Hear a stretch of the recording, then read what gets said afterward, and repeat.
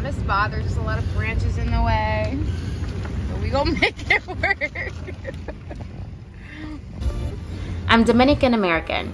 I grew up knowing a lot about Dominican culture language, dance, music, mannerisms, traditions, and etc. However, I know a little about the other side of the island.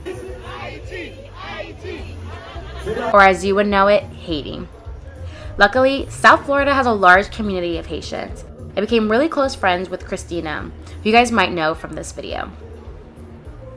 She's taught me a lot about her culture and invited me to a Haitian music festival for Flag Day. Of course, I said yes and was able to experience Haiti right in my backyard.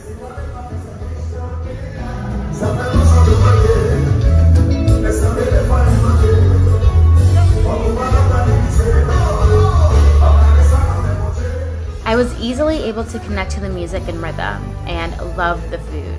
Probably because I'm an island girl too, literally the same island. It runs in our blood on both sides, whether born in the US or over there. I didn't get much cultural awareness on Haitian culture growing up, but now that I'm more exposed, I can appreciate all the things the island has to offer. Happy Flag Day to all my Haitian friends.